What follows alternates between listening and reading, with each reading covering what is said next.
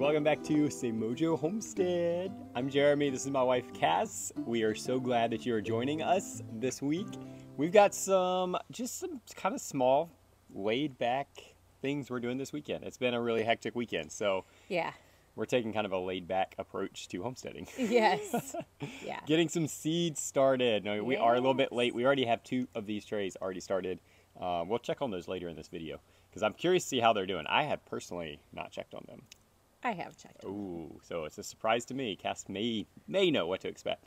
But why don't you you want to talk about what we're planting? in Okay, yeah. So we've already planted our tomatoes and our peppers. Peppers Mhm. take a long time to germinate, so we wanted to get those in first. Yes, we also have basil started Yes, and nasturtiums because they take a long time as well. The nasturtiums we planted before, or we started before our squash because every time I've planted them together in the garden, the squash outgrows the nasturtiums. Yeah. So we wanted to get those going. But, so the reason we're doing nasturtiums is because they are a trap crop for squash. The Mm-hmm. Yeah. squash bugs and other insects will flock to them. So while they're really pretty, we are planting them not so much for the beauty, but for a trap crop to try to get a lot of those insects and onto those Yeah. to alleviate some of that pressure that we always get on our squash. Yeah.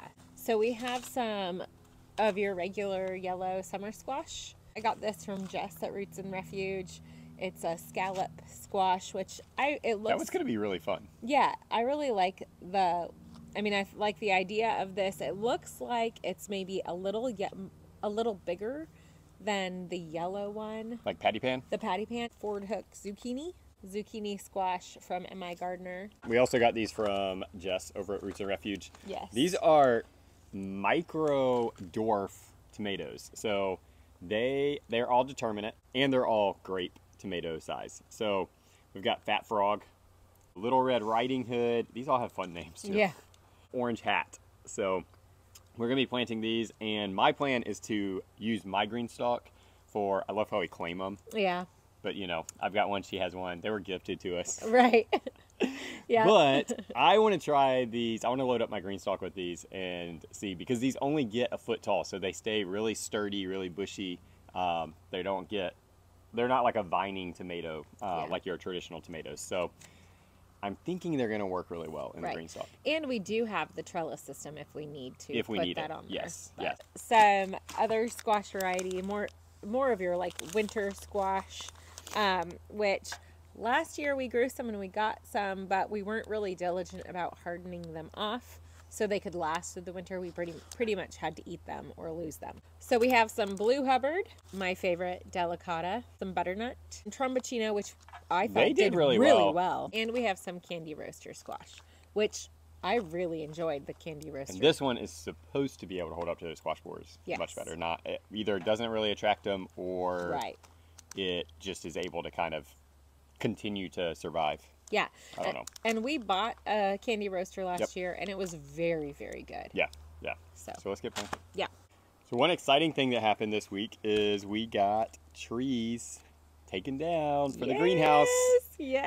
Yes. Uh, they came out earlier the week. We um, have a, we have a connection. One of our friends works for Alpine Tree Service, and they've done some other tree work for us. They do a great job. Would highly recommend them if you are in like the Columbia area. Just really good professional tree company that um, is I feel like fairly reasonable, especially for being insured and all that stuff. So anyway, they came, took out two of the trees that we needed to be take that we needed taken out.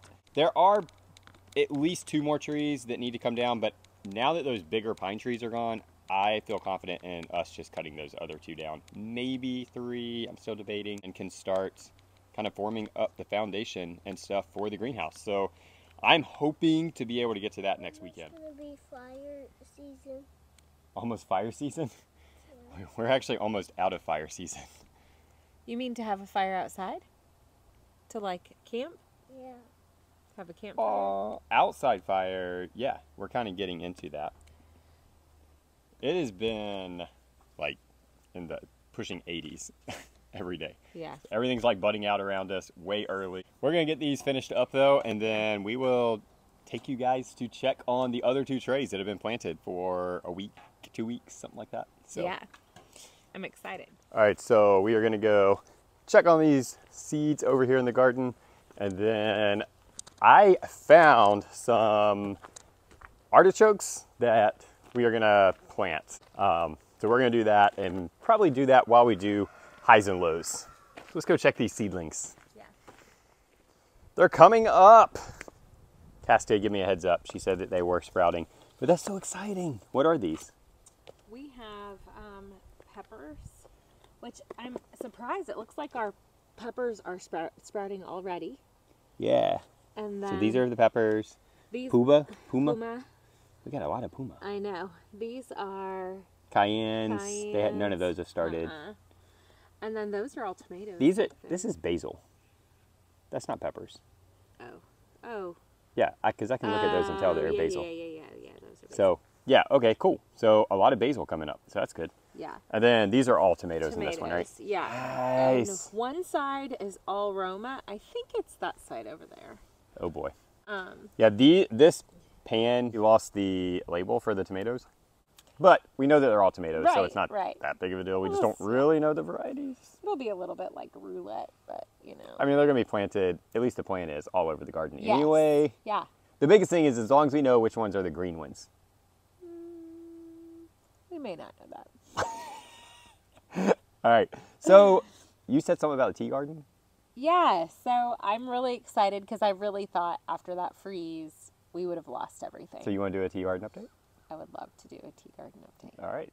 So, like I said, I'm really excited because I really thought we were going to have to replace everything. But let me just show you how exciting this garden is. So, we have um, yarrow. Look at all of this yarrow coming up. And then we have hyssop. And then look at this fig while I'm passing it. Jeremy just like put this on the ground and put dirt on top and it's growing. Crazy. Anyway, and we have mint in all these pots, and then we have some lemon verbena and more mint. Another lemon verbena, more mint. Look at my lavender.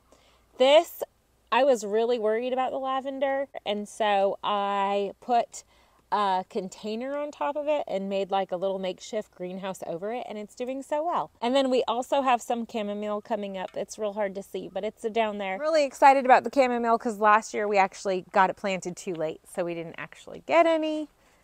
And what is this? Artichoke. Let's go plant. Artichoke. Garden snack.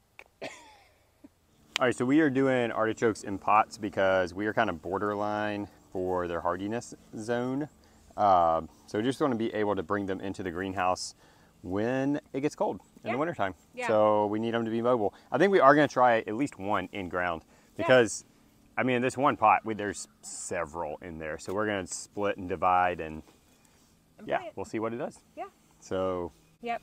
So artichokes are one of those things that I've always wanted to grow. I grew up eating artichokes. I grew up in California, so artichokes wasn't something we got all the time, but they were such a treat when we got them. So, my goal is to be able to grow my own. yeah, so we're going to see how these go Yep. through this year. Um, all right, so highs and lows. Highs and lows. All right. So we're going to do this while we try to separate these somewhat gingerly. My high for the week was that both um, Josiah and Mariah had something kind of special today. Josiah had his first baseball game, so that was fun. Yeah. Did you have fun? Yeah. First game? First game of the season, and he got his new jersey and got introduced. I didn't get to see that because I was at Mariah's um, history presentation. They do, they have to dress up as someone in history and and do a whole display board and um, share a monologue and talk, teach about their character. Um, I got to go to that this morning while he was getting his jersey and being introduced. But that was really fun. Just seeing both of them kind of do those things was really fun. And I don't really have a low. It was a good week. The girls um, got their schoolwork done early every day. Uh, I got to work on the show for our, at our studio. Like it was a really good week. I didn't. That's have good. A low. Yeah. Wow. Good. Yeah. All right, I'm going to bring this thing around. Ah. We're going to do one in here too. yeah. All right. So let me pull this guy out. Oh my goodness. this is pig food right here. Yeah. This is a collard that we just kind of planted in here for decorative sake, and it went to flower. So, um, yeah, for me, my high and low. This has been a really good week. Um, I have several highs, and I'm going to go ahead and say I don't think that I have a low. So, Yeah. uh, one of my highs was today, Joe's first game. I'm helping out with coaching with his team, so that was a lot of fun to get the season started. Um, also, that we got baby chicks. Oh yeah. That was definitely another high of mine, and that the trees came down for the greenhouse because it's like the first kind of phase of Yeah. getting that greenhouse done and everything. So And I thought of another high for me last night for dinner. We took the kids to one of those Japanese restaurants where they cook in front of you. Jeremy and I have been several times, but we have not taken the kids in a very long time. This Yeah. was Joe's first time experiencing a restaurant like this. And it was so much fun watching them have fun. And Joe, Joe, you want to do it? Why don't you come up here? yeah, so they can hear you. So what's your high? my high for the week was um our friends staying here for some for a week. John. John. John staying Yeah. here for a week. And my low was that he had to leave today to house sit. And I didn't have any more. No more? No more? Your game wasn't a high? Uh, my game was high and uh, getting my jersey. Yeah. Yeah. What team are you? The Braves. That's right, right Yeah. here. So John and Joe have formed quite the bond. Yes. So they have had a lot of fun together, especially Joe, with Yes. having John around. So John is coming back. He is just house sitting for a week. So that is all we have for you for this video. Thank you for hanging out with us. Be sure you like or subscribe if you haven't already and comment. We would love to know if you are seed starting anything or if you already have seed start. Hopefully you already have, because yes, we're we're late to the party. for zone eight Yeah. or for South Carolina, yeah, the, we, we're at the kind of late end of starting some of these seeds. Yeah. Have a great week and be blessed.